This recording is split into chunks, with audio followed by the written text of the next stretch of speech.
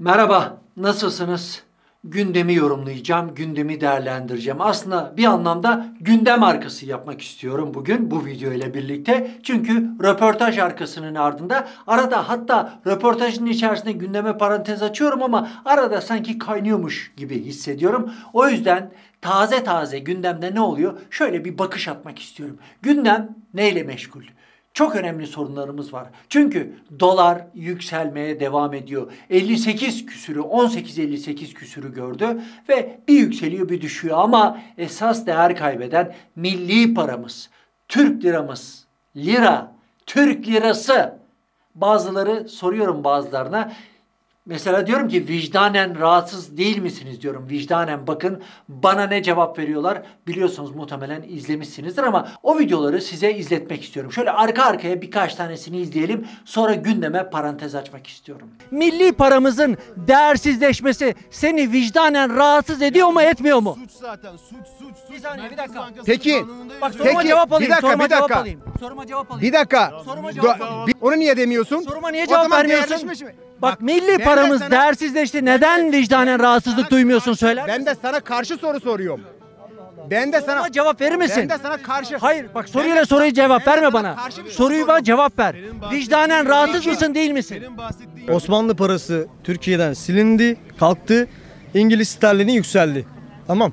Yükseldi. Bence yanlış gitti. Osmanlı'ya Yok. değil ADM'e kadar gidelim biz. De. yok. Abi en başa kadar gideriz. Hayır. Şimdi Adem Türk lirası bugün nasıl değer kaybetti diyorum. Sen Osmanlı'ya Ben sana onu söylüyorum abi. Paranın Abi, değer kaybı burada bu oldu zaten. insanlar- Türk lirasının bu kadar değer kaybetmesi benim canıma dokunuyor. Benim Tamam, benim vicdanıma tamam. dokunuyor. Senin dokunmuyor mu? Tamam. Milli paramız yerlerde sürünüyor. ben sana- Hiçbir vicdanına dokunmuyor. Tamam bir, bir, bir örnek vereyim ben sana. Bulgaristan'da işte leva bilmem şu kadar değer kazanmış. Bir dakika kardeşim geliyorum ya. Milli paramızın değer kaybetmesi vicdanınıza dokunmuyor mu ya? Bu kadar ya. Dokunmuyor mu? Değil mi? Milli para, milli para, milli para, Türk parası. Türk parası değer kaybediyor. Vermiyorsun. Bana levayı anlatıyorsun. Levayı anlatma bana. Cebimizdeki para eridi. Dolar 18 küsürleri oldu. Bu seni vicdanen rahatsız etmiyor mu? Etmiyor. Bütün dünya kıvranıyor şu anda. İşte böyle. Türk lirası değer kaybediyor ama AK Partililer nedense milli paramızın değer kaybetmesinden asla ve katta rahatsız değiller. Çok garip geliyor bana ya. Benim cebimdeki para eriyor.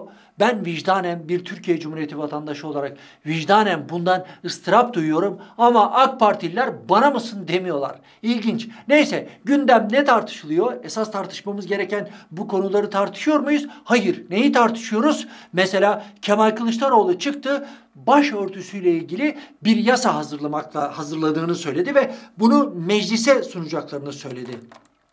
Tabi bununla ilgili ortalık biraz karıştı. Hem CHP'lilerden tepki geldi hem de iktidar yanlılarından. Ya öyle bir şey olabilir mi? Çok ilginç. Mesela Yeni Şafak gazetesi bununla ilgili şimdi yasa hazırlayacak. Yasal olarak bağlansın diye öneri geliyor. Yani insanların, kadınların kılık kıyafetiyle kimse karışmasın, hiçbir siyasinin kontrolü altına girmesin yönünde bir yasaydı bu. Yeni Şafak gazetesi haberi aynen şöyle, aynen okuyorum arkadaşlar.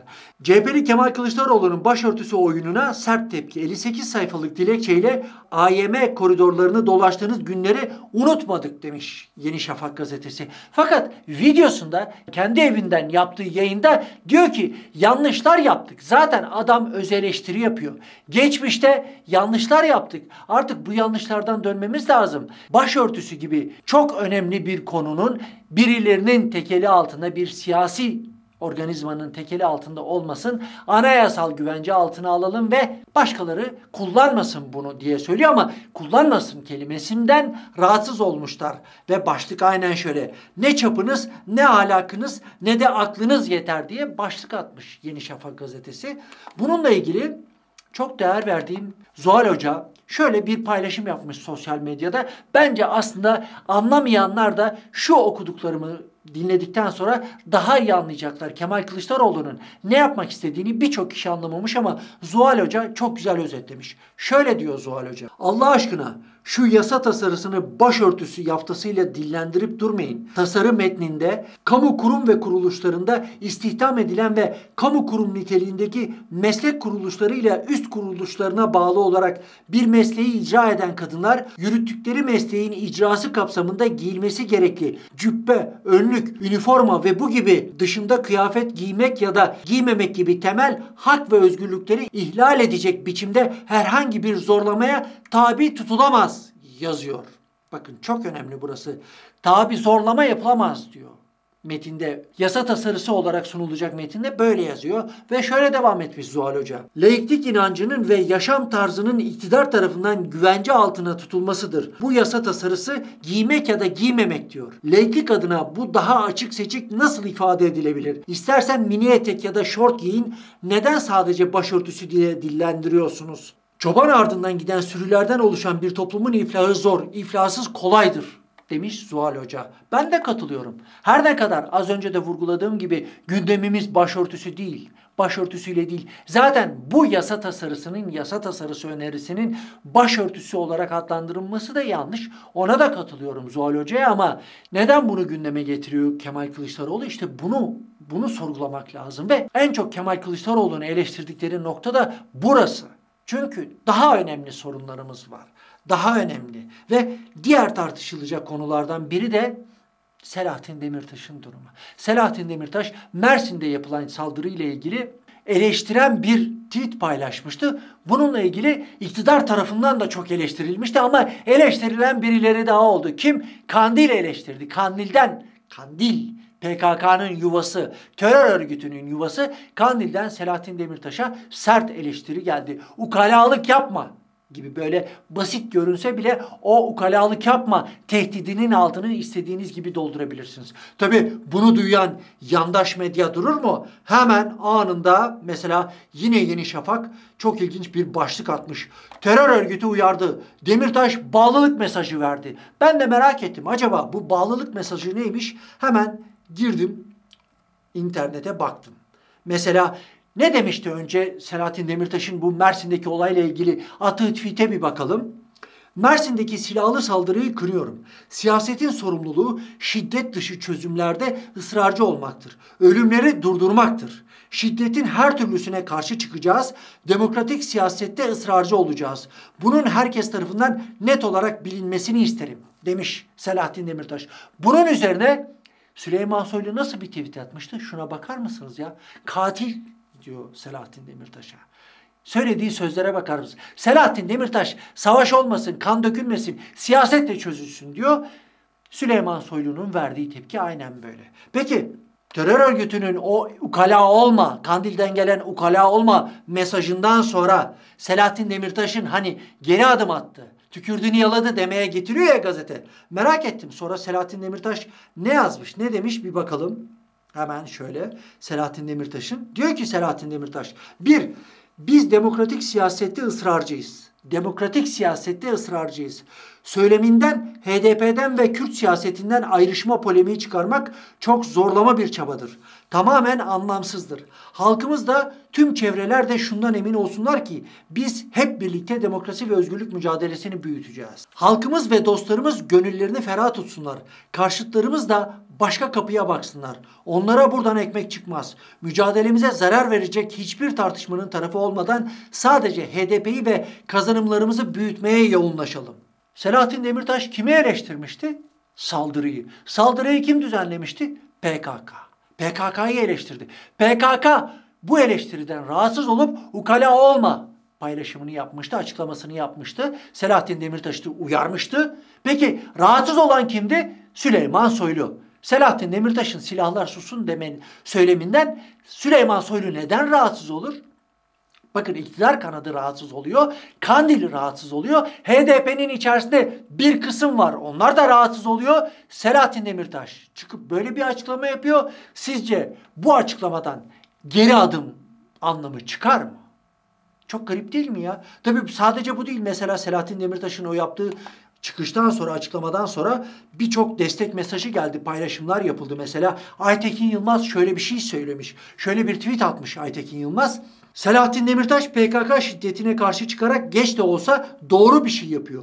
Başarılı olma şansı var mı? Tabii ki yok. Çünkü bu konuda Selahattin Demirtaş yalnızdır. Peki onu kimler yalnız bırakıyor? HDP bırakıyor. Yazar sanatçılar bırakıyor. Solcular bırakıyor. Ben de katılıyorum. Selahattin Demirtaş tek başına bu işin barış yoluyla çözüleceğini savunuyor. Fakat AK Parti karşı çıkıyor. Karşı çıkan Kandil, PKK karşı çıkıyor. İmralı karşı çıkıyor. MHP karşı çıkıyor. Dediğim gibi iktidar karşı çıkıyor. HDP'nin içerisinde de geniş bir kesim karşı çıkıyor ama Selahattin Demirtaş yine de HDP'den umudunu kesmemeye çalışarak böyle bir paylaşım yapıyor. Çok ilginç, çok garip gerçekten. Anlamakta zorluk çekiyorum arkadaşlar ve Kemal Kılıçdaroğlu o Mersin'de düzenlenen saldırıda ölen oradaki terörist kadının kızın DNA'sı yapılsın ve ne olduğu ortaya çıksın gibi bir açıklama yapmıştı o günlerde. Tepki kimden geldi? Bahçeli'den geldi. Bahçeli ne diyor? Hemen ona bir bakalım Bahçeli'nin ne dediğine. Kendi DNA testini yaptırırsan ölen teröristin sonuçlarını görürsün diyor Devlet Bahçeli. Tabi bunun üzerine Kemal Kılıçdaroğlu da hemen şöyle bir cevap veriyor. Testi birlikte yaptıralım. Kimin ne olduğu ortaya çıksın. Bence tam kapak. Birlikte yaptıralım. Kimin ne olduğunu anlatalım. Kemal Kılıçdaroğlu şunu demiyor. Sen git testini yaptır demiyor. Birlikte yaptıralım diyor. Bence Kemal Kılıçdaroğlu'ndan çok yerinde bir kapak. Gündemde tartışılacak o kadar çok konu var ki ama gündem dışı kalan arada bir gündeme gelen bir konu daha var. Beştepe'nin sarayın günlük maliyetinin 10 milyon liranın üzerine çıkmış olması. Bir haber küpürü getireceğim. Bir gazetede haber yapılmış. Mesela Ahmet Necdet Sezer döneminde Ahmet Necdet Sezer ne kadar harcadı? Abdullah Gül ne kadar harcadı? Recep Tayyip Erdoğan ne kadar harcadı şimdiye kadar? Bununla ilgili bir haber küpürü. Aynen şöyle. Başlık şöyle. Hangi cumhurbaşkanı ne kadar harcadı? 10. Cumhurbaşkanı Ahmet Necdet Sezer 2000 ile 2007 arasında görev yaptı. 7 yıl boyunca görev yaptı. 167 milyon lira harcamış. Bakın arkadaş 167 milyon 7 yıl boyunca. 11. Cumhurbaşkanı Abdullah Gül 2007 ile 2014 yılları arasında görev yaptı. 7 yıl görev yaptı o da. 916 milyon lira harcamış. Bakın 916 milyon. Ahmet Necdet Sezer 167 milyon harcamıştı. Peki Sayın Cumhurbaşkanı Recep Tayyip Erdoğan'a gelelim. O hala görevde. Yani 7 yıllık süreci bitirecek. 2023'te bitecek. 8 yıldır görevde. Bir de onun öncesi de var tabii. Çünkü halk seçtik, seçmeden önce de Cumhurbaşkanı seçilmişti. 8 yılda ne kadar harcamış görüyorsunuz. Tam 18 milyar lira. Bakın bizim paramız bu. Tüyü bitmemiş yetimin hakkı var bu 18 milyar liranın içerisinde. 916 milyon liranın içerisinde ve 167 milyon liranın içerisinde. Soru şu. Recep Tayyip Erdoğan bu paraları nereye harcadı? Nerede harcadı? İşte saray yapıldı, bilmem ne yapıldı, şu yapıldı, bu yapıldı. Nerede harcadı? Bunu soramıyorsunuz. Gizli ödeneği de var çünkü. Gizli ödeneğin yani gizli kasasının ne kadar olduğunu bilmiyoruz ama 8 yıllık süreç içerisinde Sayın Cumhurbaşkanı 12. Cumhurbaşkanı Recep Tayyip Erdoğan tam 18 milyar lira paramızı harcamış. Ben de bir Türkiye Cumhuriyeti vatandaşı olarak sizler adına da sormak istiyorum. Sayın Cumhurbaşkanı Recep Tayyip Erdoğan bu paraları, bu harcamayı nereye yaptı diye soruyor ve bundan sonraki videolarda görüşmek üzere. Hoşça kalın diyorum. Kendinize dikkat edin.